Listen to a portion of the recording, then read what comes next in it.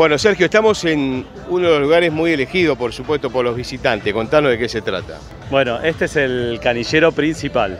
En este canillero están todas las cervecerías que mandaron barriles y las tenés ordenadas por eh, forma alfabética. La gente se acerca a la canilla y los chicos les van a poder explicar qué canillas tienen ahí, cuáles son los estilos, de dónde viene la cervecería. Tienen que venir con su vaso para este, que se lo podamos llenar. Único vaso que le dan en la entrada a la gente. Exactamente, la idea es mantener ese vaso y no generar más desperdicio. Bueno, hay muchas canillas, hay muchos estilos, realmente muy variado.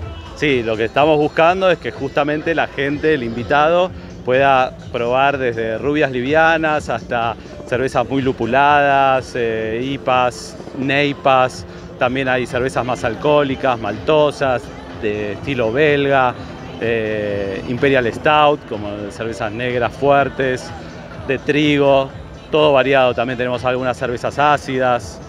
La idea es que puedan tener cualquier cerveza de cualquier estilo a disposición. Bueno, y se da en un ámbito muy agradable, abierto, con un clima que acompaña.